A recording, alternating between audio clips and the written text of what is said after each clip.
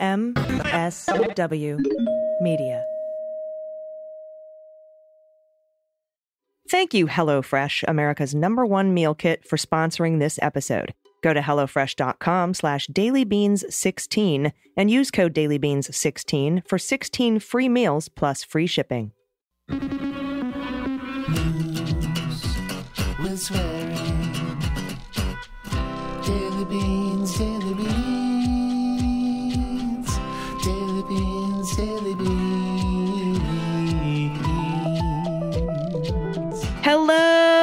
welcome to the Daily Beans for Monday, June 26, 2023. Today, one of the architects of the fraudulent electors scheme is in talks with Jack Smith to cooperate. Meanwhile, one of the Willard War Room attendees has signed a cooperation deal with the Department of Justice. Mueller indicted oligarch Yevgeny Prigozhin staged a brief coup this weekend in Russia. Rudy Giuliani has been sanctioned by Judge Beryl Howell in the Ruby Freeman and Shaye Moss defamation case.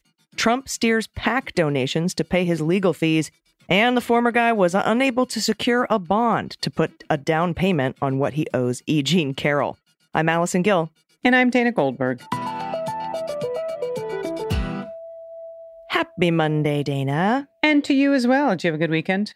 I did. I had a very nice, relaxing weekend. I had a whole day off on Saturday, which was oh, nice. that is impressive. I had to follow Jennifer Holliday singing her iconic song from Dreamgirls on stage in Salt Lake City at the HRC Gala this weekend. It was nuts. She was Oh. incredible. You had to go up after that. Yeah, I had to Oh. follow Jennifer. Hol- So eh, my mother, my Jewish mother, would be like Jennifer Holiday opened for my daughter. it's a good thing that you're amazing. Oh, it, was, it was good. It was actually good. My my set hit hard, and I raised more money than their goal, and it was a good night in Salt Lake City. Salt Lake City has a thriving LGBTQ community. I feel like everywhere I went, Yep. there was either a trans or non-binary or queer person working behind the counter, and it made me so happy. That's amazing. Yeah, one time I had to follow a priest. Oh, as one does. Yeah, I was doing a women's veterans thing in Minnesota, Ah. and uh, they had a benediction. No, I the love- It's a great brunch. It's a great brunch dish. Benedictions are my favorite eggs dish of all eggs time. benediction. Yeah, yes. yeah. And no, I'm sorry. The priest had to go on after me. Oh, the- yeah, and they're like, so God loves everyone, even those with a dirty sense of humor and a foul mouth. It was really like that's mhm. amazing. Yeah, so that was I killed it though. I mean, it's it's women veterans. You know, Yeah, amazing. get each other. We understand each other. So yeah, Trump can't get a loan from a bank to pay what he owes E. Jean Carroll. Really? Deutsche Bank really won't take his call? I wonder why. Oh yeah, Deutsche want a loan won't even give him this money. Ladder Capital won't. He couldn't get a. He has to pay a bond, right? Like a down payment to show that he's going to pay her her five million dollars. Couldn't get a bond, so he had to use cash. Womp womp. And uh, Owen Schroyer, right? Co host of InfoWars, sometimes host of InfoWars, Alex Jones's right hand man. He was in Friends of Stone, that chat Yeah. group that we heard about during the January 6th committee hearings. He was at the Willard War Room with Mike Flynn and Bannon and the Oath Keepers and the Proud Boys and uh, everybody the, on the January 5th and January 6th. He has signed a cooperation agreement with the government, with Jack. Well, I don't know if it's with Jack Smith, but it's with the Department of Justice. He's he's copping to a couple of misdemeanors, and they're they're dropping his felony charges in exchange for being able to have full access to his social media accounts. That's delicious. Yeah, and I, at first I was like, that seems pretty narrow. Usually, if you're cooperating, you got to tell them everything. But uh, Andy and I go over all of that and maybe why they did that in the current episode of Jack that's out now. So you definitely don't want to miss that. So we have a lot to get to. So yeah, I, I do want to I do want to clarify though. I had Saturday off, but I had to deal with a family crisis. Oh. so so it was kind of good that I had the day off. I got to do that, and everybody. That's why the bonus episode weekly wrap up for the beans for patrons didn't come out until yesterday. So I do apologize for the lateness on that. Even though I had the day off, I was running some, putting out some fires. Everything's fine though. Just want everybody to know. Okay. Good, good, good. All right, let's hit the hot notes. Hot notes. All right, first up from the Times, this is Feuer and Haberman. Mike Roman, a top official in former President Trump's 2020 campaign, is in discussions with the Office of Special Counsel Jack Smith that could soon lead to Mr. Roman voluntarily answering questions about a plan to create slates of pro Trump electors in key swing states that were won by Biden, according to a person familiar. If Mr. Roman ends up giving the interview, known as proffer, to prosecutors working for Smith, it would be the first known instance of cooperation by someone with direct knowledge of the so called fake elector plan. That plan has long been at the center of Mr. Smith's investigation into Trump's wide ranging efforts to overturn the 2020 election. And this is kind of true, but also kind of not true, because we also know that the two Nevada fraudulent electors that Jack Smith brought in front of the grand jury a couple weeks ago have been given limited use immunity for their testimony. It's a little different than a full cooperation agreement, though. So it is the first that we know of a full cooperation agreement with somebody who was involved heavily in the fraudulent elector scheme. And it's also interesting. Andrew Weissmann brought this up on Twitter. This is a Haberman piece. Haberman is a, a, Trump Access reporter, and he's saying that this could be Trump world dropping this in the news to kind of threaten Mike Roman. Oh, interesting. Yeah, to keep him from testifying. The talks with Roman, who served as Trump's director of election day operations, were the latest indication that Smith is actively pressing forward with his election interference investigation even as attention has been focused on other cases in his portfolio.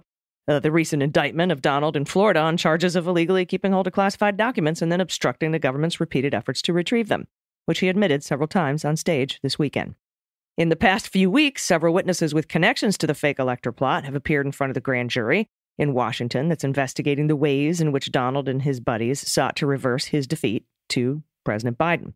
Among them, Gary Michael Brown. That's Mr. Roman's one time deputy, who was questioned in front of a grand jury this past Thursday. Roman did much of the legwork, putting together the fake elector plan and finding ways to challenge Trump's losses in several key battleground states.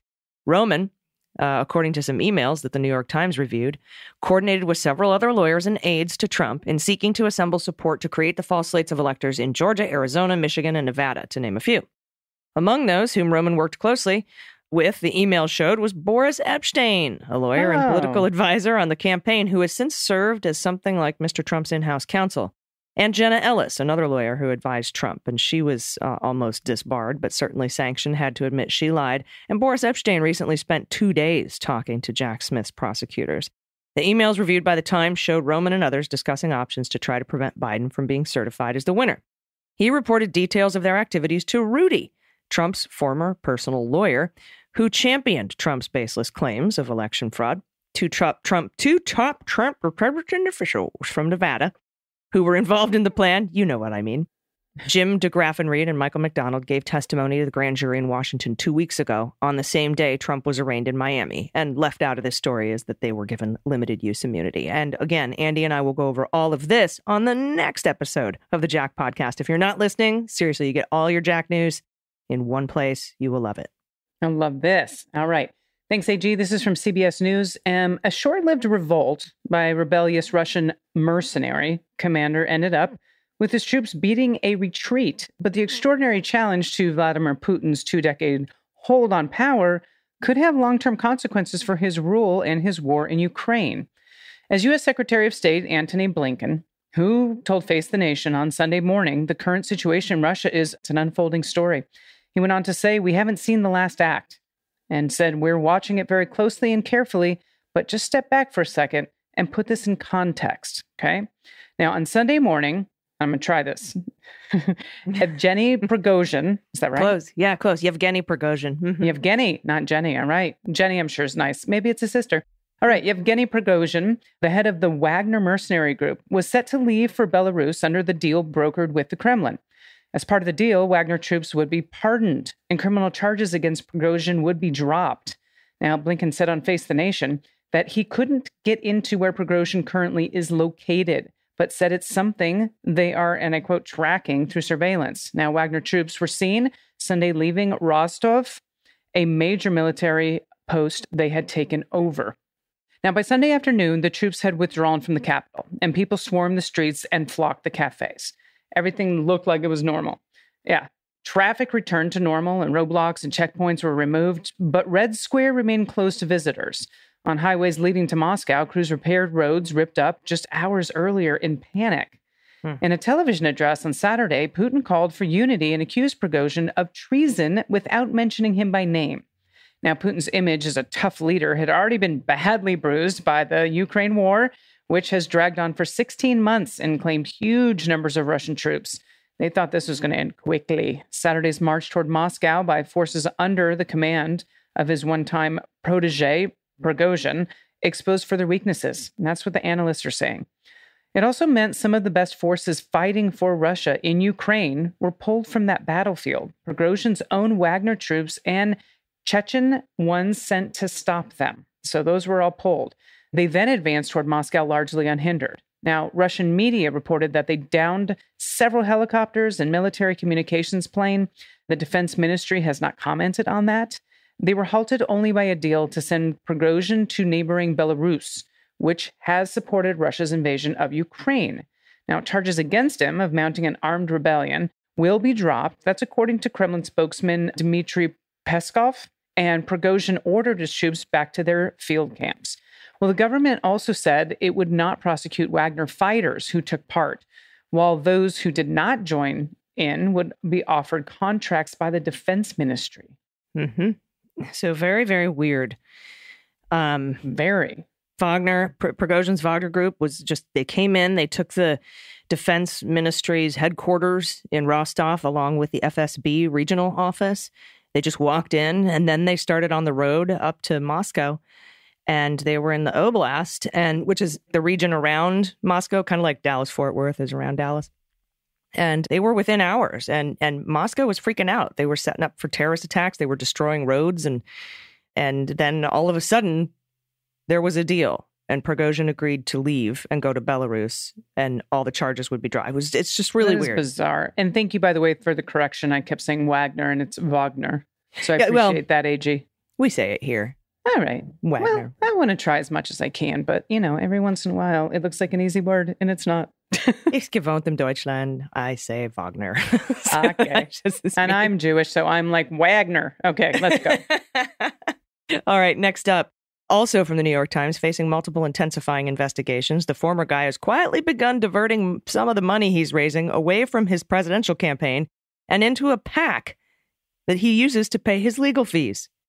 The change, which went unannounced except in the fine print of his online disclosures, raised fresh questions about how Trump is paying for his mounting legal bills, which could run into millions of dollars, as he prepares for at least two criminal trials, at least, and whether his PAC, Save America, is facing a financial crunch. They're also under criminal investigation, by the way.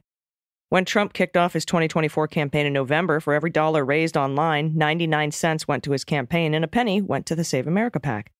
But internet archival records show that sometime in February or March, he adjusted that split. Now his campaign share has been reduced to 90% of donations and 10% goes to Save America. The effect of that change is potentially substantial. Based on fundraising figures announced by his campaign, the fine print maneuver may have already diverted at least $1.5 million to the PAC. And the existence of the group has allowed Trump to have his small donors pay for his legal expenses rather than paying for them himself. Oh, you get that? such a grift. It's all a grift. Mm-hmm. Yeah. Tell your Trump supporting MAGA family members and friends they're paying for Trump's legal bills. They're probably happy about it. Keep it going. Steven Cheung, a spokesman for Trump, didn't answer detailed questions about why the Trump operation had changed how the funds he is raising are being split. Save America technically owns the list of email addresses and phone numbers of his supporters, one of the former president's most valuable assets, and the campaign is effectively paying that PAC for access to that list, he explained. Oh, we just we're increasing that because we're just we're paying now 10 times as much for an access access to that list because we didn't, you know, Trump's campaign himself doesn't have a list. Okay. The different rules governing what political action committees and candidate campaign committees can pay for are dizzying and somewhat in dispute, but generally, a PAC cannot spend money directly on a candidate's campaign. And a campaign committee cannot directly pay for things that benefit the candidate personally. For more than a year, before Trump was a 2024 candidate, Save America had been paying for bills related to various investigations into the former guy and his allies. In February 2022, the PAC announced it had $122 million in its coffers. But by the beginning of 2023, the PAC's cash on hand was down to 18 million.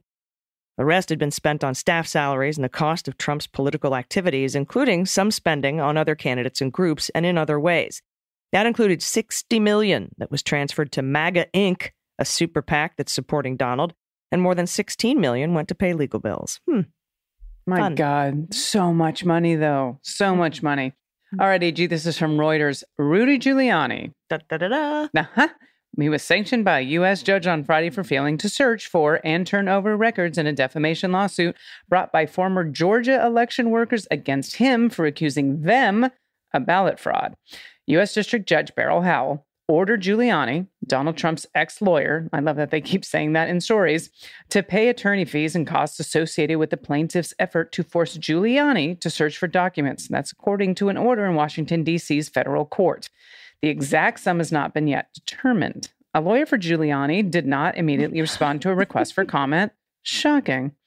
But this is a quote We're pleased with the court's order and look forward to our clients having their day in court. That's from Michael Gottlieb, and he's a lawyer for the election workers. That's what he said in a statement. The judge previously said Giuliani, who served as mayor of New York. I love that they just add those on, like we're not sure who the fuck Giuliani Right. is anymore. Whose face melted off in front of Yeah. him. well, Giuliani must produce nearly all records requested by the election workers by June 30th. Ooh, that's what, Yep. four, to five, four days from now? Ooh. Yep, I don't see this happening. Howell found that Giuliani arbitrarily limited his search for a database that contained messages and documents in his possession prior to April of 2021, when federal authorities seized his electronic devices and conducted an imprecise manual search of messages from after April of 2021. Lawyers for the plaintiffs, former Georgia election workers who Ruby Freeman and Shaye Moss, who are phenomenal women, asked Howell to sanction Giuliani in April, accusing Giuliani of failing to fulfill basic obligations to turn over records sought as part of the lawsuit and refusing to detail his efforts to preserve and collect documents. Giuliani's lawyers maintained that his searches were adequate and argued that it would cost more than $320,000 for him to access the database containing messages from before the seizure of his devices. That's too bad. Freeman and Moss sued Giuliani, as they should have, and the right wing news organization One America News in 2021 over statements and broadcasts tying Moss and Freeman to a false conspiracy about vote rigging in 2020 U.S. presidential election in Georgia. Giuliani has previously denied those claims. One America News agreed to settle, by the way, the lawsuit last year for an undisclosed sum. The settlement agreement has not been made public. Yep. All right. Well, yeah. And, and Rudy was like, I can't afford it. And Judge Beryl Howell's like, cool, show me all of your expenses then.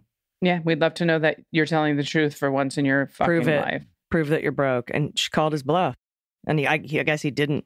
Something was filed under seal. I don't know what. But then she sanctioned him. So womp womp.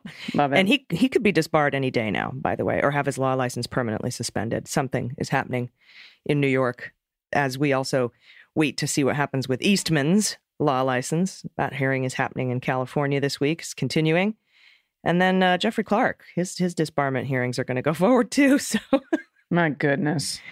making attorneys get attorneys, making attorneys not attorneys. I think is, is probably better. All right, everybody, stick around. We'll be right back with the good news.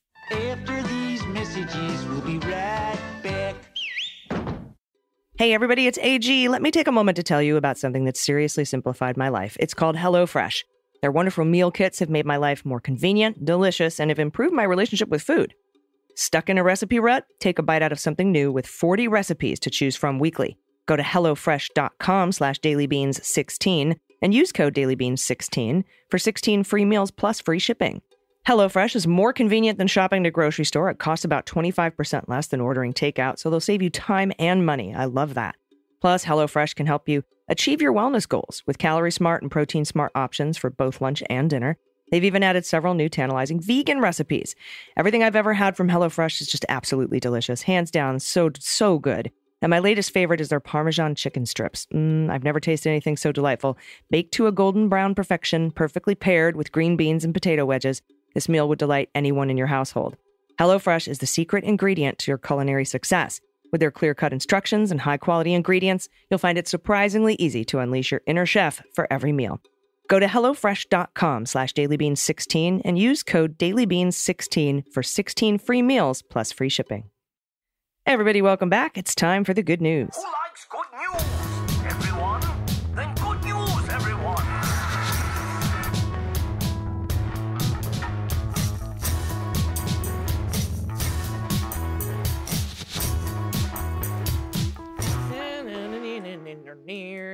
Good news, good news. And if you have any good news or a correction or some confessions, or uh, if you want to give a shout out to somebody you love, or play shit kids say, or shit you say, or shit your parents say, or a shout out to a small business in your area or your small business, you want to send pod pet tax photos, you can do that. And if you don't, have a pod pet that you can send pod pet tax photos with, you can send an adoptable pet in your area. Whatever you want to send us, anything you want at all, send it to us at dailybeanspod.com and click on contact. All right, first up from Owen, pronouns they and them. Dear Legumettes, love it. On the heels of the favorable ruling in the ACLU Trans Care for Minors case in Arkansas this week, Woohoo! more good news for queer, trans, and non binary people. I'd like to share my good news as a shout out to the Colorado Name Change Project. Colorado is a safe haven for trans people. I know firsthand how onerous and expensive the name change process can be. The Colorado Name Change Project didn't exist yet when I went through my legal name change in 2015. I had to publish the change in a local newspaper, and even then they misspelled my name. It felt so degrading and lonely. But now, the Colorado Name Change Project provides free resources to trans and gender nonconforming people to secure legal name changes. So far, we've provided free education to over 25,000 people Amazing. through our free online workshops and website. In 2022, we helped fund 60 people with micro grants. So far in 2023, we've helped 13 folks with micro grant funding. And a new law in place explicitly exempts trans people from having to do the publication step that I had to do years ago. CNCP is free and 100% donations and grants based. We're currently in the grant application stage. We, we're fully volunteer run. Many staff are LGB and TNB. And every dollar the organization brings in goes towards micro grants, directly funding trans people's name change expenses, continued free monthly workshops, and maintenance of our comprehensive website. All staff are volunteers, and we strive to be very responsive to people's questions. Check us out at namechangeproject.org. A $21 donation makes one of our monthly workshops possible. The name change process costs an average of about $265 per person, and funding through microgrants can be the thing that removes the final barrier for someone to live their true identity. If you decide to donate, let us know where you heard of us and type beans in the comments. Happy Pride. Here's a shout out to trans and queer joy with love from Colorado. That's namechangeproject.org. P.S. Podpet Tax is the executive director's kitty. I thought his name was executive director. I think it should be. My kitty's name is the senator, so I figured why not? That's really awesome. Look at the sleeping baby. Oh, and this is fantastic. I, I just have to say, like, I know that there's a massive contingent of Beans listeners that are part of the community, but it is so nice to hear these stories. And I just want to add on to not just the Arkansas, but Florida lost and DeSantis particularly that, you know, a judge temporarily blocked the um, order to not give medical care to trans youth. That's temporarily on hold, which is wonderful. This, this is the thing, and I've said this before these scare the community, and no one should have to hear about their humanity or have to experience their humanity being up for debate. But as hard as it is during these times, try and take a breath and definitely stay with us. And I mean that literally a lot of these laws are unconstitutional and thank god the courts some of the courts are doing what they need to do but it doesn't mean it hurts any Mhm. less when No. you hear it just know that you are being fought for and we're standing next to you okay so just just Mhm. just know that and thank you owen for writing in about that and colorado Yeah. right on love it Oh, and all the drag bans are being overturned by the courts. Yes, It's they are. absolutely against the First Amendment to, to 100% dictate what somebody can wear. You know what I was thinking about? And this is totally random in the middle of our good news. How would they possibly do that without banning RuPaul's Drag Race from television? Do, do you know what I mean? If, if you can't have drag shows in front of youth, ha- they'd have to literally ban RuPaul's Drag Race from every channel in the in the nation. Otherwise, kids are going to just be wandering upon. It's just ridiculous. I can't. It's just don't even answer that. I was thinking about it the other day, and this is the wormhole I go down. They'd all pull right. it in that state. They'd pull it in that state. Yeah, And I don't know how to do, we would even do that. yeah, exactly. Mm-mm. Anyway, it's insanity. But what's not insane is the submission from Stacy Lynn, pronoun she and her. Segue. We had to get a segue in somewhere because we didn't Yeah. have one in the hot notes. I didn't do any segues today. I was like, ah da da da da. Now it's hot notes. Ah, da, da, da. Good news is next. oh my god, I love you. All right, Stacy Lynn says my daughter works for Planned Parenthood. Fuck yeah, Stacy Lynn's daughter. And she takes her name tag off before leaving the building because the crazy people only think fetus lives matter, not hers. I'm proud of the work she does, even though I worry. I am also proud of the work, but I can understand Mama Bear. Now, one way I fight the evil is through the crisis pregnancy centers. I'm 56 and beyond my childbearing years, but I don't let that stop me from making appointments. Oh, this is oh, brilliant. Every wow. appointment I make is one they can't use to coerce someone looking for help. All the time they spend talking to me is the time they can't use on someone else. Since 2016, I've logged 87 appointments and at least 73 hours on the phone. It's a tiny thing, but so are mosquitoes, and they're effective at making people go away. Pet Tax is a community cat that hangs out here. I call him Cat because he doesn't care what I call him. He just wants love. Just for joy, here's a picture of my backyard farm and a cucumber vibe because they are cool.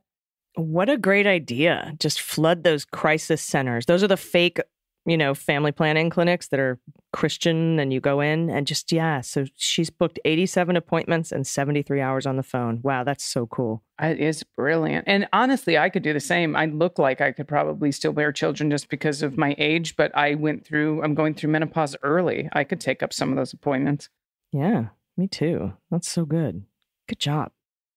Oh, that's a cool picture of that plant with the little spiral. It is mm-hmm. beautiful. Look at Mother Nature. I mean, look at Mother Nature. That's art. The colors, the geometric shape. I mean, it's beautiful. The golden spiral. I'm not even high, you guys, and I'm just really enjoying all of these submissions. I am not high. And look oh at that. Oh my god, look at What? that. What is money? Okay. Next up from Bad Nana, no pronouns. Nana to 10. My three year old grandson was in the car with me when we passed a guy at a four way stop who was flying an F. Biden flag and a Trump 2024 flag on an outbuilding about 15 feet from the road with cameras. I always give it the finger as I drive by. Grandson says, Nanny, that's bad. I responded with, It is, but the guy is an asshole. He responds with, A fucking asshole. and I say, That's right, buddy. he clearly heard the verbiage at home. Hashtag bad nana. Here's my grandson with his doodle Louie, named after my dad. Look at this baby. Oh my goodness. He's adorbs. That puppy is too. Thank you for that submission. Excellent. Excellent. Excellent. Oh my. God, really cute picture. All right, this is from Paul, pronouns he and him. Shout out to my brother who made the stolen document shower curtain, which can be used legally in any bathroom with a door lock. nice. I think there might be a photo missing, but or it's somewhere else. But uh, we've got Pet Tax as my friend's beautiful cat Badu, who I watched for the last couple of days. I'll send an update if there's ever any DNA testing. Only started listening a month ago, but Daily Beans has quickly become one of my favorite podcasts. Thank you, and Paul, welcome to the fam. Thanks, Paul. Yeah, welcome to the Leguminati, my friend. Oh, there is the shower curtain. There it is. I see it. That's so funny. I wonder if you can get that anywhere. Uh, uh, hey, by the way, Paul, if if we can order that anywhere, if he's selling it on Zazzle or something, send us a link. All right, next up from Tadrick, pronouns he, him, she, her, they, them. My wonderful champions. Can I say, as an intersex human, how much I love you both for your gorgeous de emphasis on chromosomes? I was born with outwardly male genitalia, yay, let the privilege begin, and female reproductive system, including endocrinology that wreaked havoc on my normal sexual development as a male. No one ever told me what was going on, ever. I remember as a child hearing my mother and the doctor whispering. There was such a weird shame curtain around me. My parents pretended that I was fine. Even my physicians as an adult were all about penis schmenis. Let's talk about your acne. I was sexually assaulted at a party years ago. People who had been friends tore my Mm. clothes and underwear off. The only thing I remember hearing is he doesn't have a dick. I figured shit out, finally, with the help of an amazing therapist, and carved out a life that was completely not contingent on my outward sexual presentation. US Christo fascist, I love that term, by the way, dimwits who are literally targeting people whose bodies don't conform to XX or XY phenotypes have brought back all my worst and unproductive anxieties. I thought I was really done with worrying about what the fuck is in my underwear. You lovely humans remind me every day that it's my wit and charm and humility Cute. and love for my fellow travelers that makes me a human being. Endocrinology is a very private matter. As the amazing Jane Fonda once wrote on a protest sign, George Bush, stay out of mine. Love my beans every day. Insight, kindness, and two voices like butter. Thanks for being you. Seriously. Wow. Roderick, thank you for this really beautiful and vulnerable submission. I was at a coffee shop um, about a month ago, and there was an intersex human there with their dog, and we started talking. And just a fascinating human being from Britain, and we were just talking about how overseas it's it's not looked at it the same way it is in the United States, and there's more of a community. But we were also talking about how science and all of the uh, what am I trying to think? Um, research on intersex humans, your IQ on average in intersex humans is high, like off the charts high. And I would just be interested if you have that same experience, Todrick. But what you went through, I'm so sorry that happened. For you to be able to find your joy and peace in the body that you have in such a beautiful way. Thank you for sharing that with our listeners. I think this is something not a lot of people are aware of and i think that there's a there's a bigger population out there than most people even know so thank you so much for your vulnerability and the submission it's beautiful Yeah. And because of your submission, there are now people who feel less alone. absolutely And Thank when you. you when you feel less alone, you can strip away the gaslighting and it really helps with the anxiety. So yeah Thank you, thank you, thank you. All right, everybody. If you have anything you want to send in to us, anything at all, please send it into us at dailybeanspod.com and click on contact. Dana. yeah i'm just going to give another shout out to my show in rochester it's at the end of july and tickets are sailing sailing they are sailing people they are Sailing. Na, na. Okay, sorry. Yacht rock all weekend. um a- and and it's a small room. It's an intimate room. It only holds 100 people. It's at carlson comedy. It's a great club in rochester. And i know some people have already purchased tickets. I can't wait to see the beans listeners and and meet you all. But if you haven't you can go on my website danagoldberg.com and just go to appearances. It's the second one down. Oh no actually it might be the first one since i just performed in salt lake and I would love to see you there. So get some tickets. They're super reasonably priced. And I would just love to have family in the audience. And when I say family, I don't just mean the LGBTQ community, I means my Beans family. I means you. So hope to see you there. Awesome. It's going to be a great show. Yeah, and and seriously, get your tickets. It's a small theater. You're going to want to get them now Now. if you can. Now. All right, everybody. We will be back in your ears tomorrow with the news. Who knows what Monday holds uh, for the news? So Tuesday should be interesting. Until then, please take care of yourselves, take care of each other, take care of the planet. Wait, I should do a better segue. Hold on. Who knows what's going to be in the news on Monday? And speaking of days of the week, you know, some days of the week you can visit your family, and when you visit them, you can bring them to vote. So until next time, please take care of yourselves, take care of each other, take care of the planet, take care of your mental health. Vote blue over Q. And take that family with you. I've been AG, And I've been DG. and them's the beans. It was shitty on purpose. The Daily Beans is written and executive produced by Allison Gill with additional research and reporting by Dana Goldberg. Sound design and editing is by Desiree McFarlane, with art and web design by Joel Reeder with Moxie Design Studios. Music for The Daily Beans is written and performed by They Might Be Giants, and the show is a proud member of the MSW Media Network, a collection of creator owned podcasts dedicated to news, politics, and justice. For more information, please visit MSWmedia.com. MSW Media. Hey, it's Lizz and Moji, host of the Feminist Buzzkills podcast, and we have a special episode you don't want to miss. June 24th marks one year after the end of Roe, and we're looking back with an abortion provider and an activist who've been navigating the fallout. Amy Hagstrom Miller, founder and CEO of Whole Women's Health, explains the realities of scrambling to close clinics while opening in safe states and shares the emotional strain that takes on patients and staff. Executive Director of Amplified Georgia Collaborative, Allison Kaufman, lays out the importance of coalition building to restore and expand access to abortion.